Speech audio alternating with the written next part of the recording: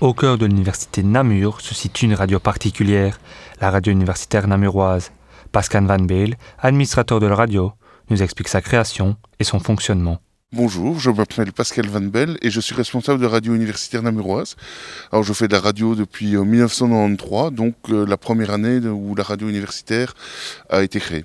Alors la radio universitaire namuroise, à la base, a été fondée par des étudiants et des membres du personnel en avril 1993. Alors euh, on est tous des bénévoles. On recrute sur le campus mais aussi dans la ville de Namur. Les gens qui veulent venir faire une émission ben, nous rentrent simplement une demande de, candidature. Et puis, euh, on analyse cette candidature, bien sûr. Alors, soit on les implique dans des émissions qui existent déjà, ou alors on leur euh, propose de faire leur propre émission s'ils ont un concept intéressant.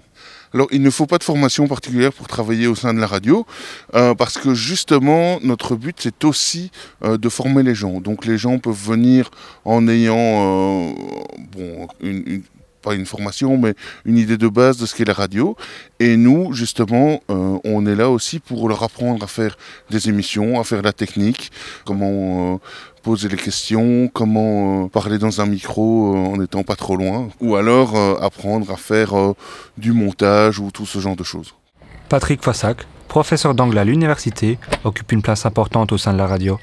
Secrétaire et animateur, il anime une émission tous les mardis soirs de 20 à 22 heures. Puis je suis aussi animateur avec des amis d'une émission qui s'appelle euh, Doudou Redin, qu'on a commencé en 2008. Et donc l'idée, c'est de passer deux heures à passer des morceaux qu'on aime bien à la radio, partager des passions. Et musicalement parlant, on se plutôt du côté du rock alternatif. Donc on essaie de faire découvrir des choses qu'on n'entendrait pas ailleurs. C'est un peu ça aussi la mission de la Run, c'est faire partager des choses que les gens ne connaissent pas forcément.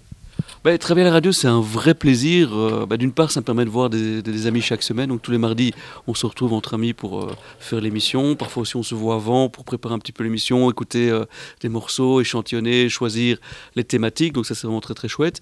Et puis le simple fait d'animer, c'est un plaisir. Hein. Je veux dire que les premières fois, on est peut-être un petit peu stressé en se disant qu'on va passer à l'antenne, et puis on passe au-dessus et on, fait partager les choses. Je pense que quand des gens reviennent vers vous et disent voilà, on a aimé tel morceau, on a aimé cette émission, on a, on a envie de découvrir plus le groupe en question, ça, fait vraiment plaisir. On se dit qu'on sert un petit peu quelque chose quand même.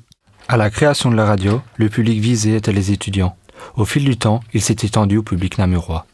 La radio universitaire namuroise est disponible en FM sur le 88.1, mais également en streaming sur run.be. La Run est une radio amatrice qui jouit d'une grande liberté de diffusion et joue aussi un grand rôle citoyen puisqu'elle diffuse des programmes multiculturels.